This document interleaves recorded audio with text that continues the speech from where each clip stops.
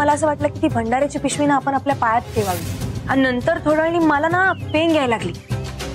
आणि आणखी थोड्या ना रिक्षाच्या गचक्यानं मी उठले. मग मला कळलं की माझ्याजवळ माझी बॅगच नाहीये. मग म्हणलं, आपला अंदाज खरा ठर मग त्या रिक्षावाल्याचं लक्ष नाहीये हे बघून ना मी हळूच ती पिशवी पायानं फोडली आणि जरा रिक्षाच्या बाहेर सरकवली. आणि तो भंडारा बाहेर सांडू दिला. पण तो भंडारा सांडवता सांडवता ती पिशवी माझ्या पायानं खाली पडली. नंतर मला काहीच कळलं की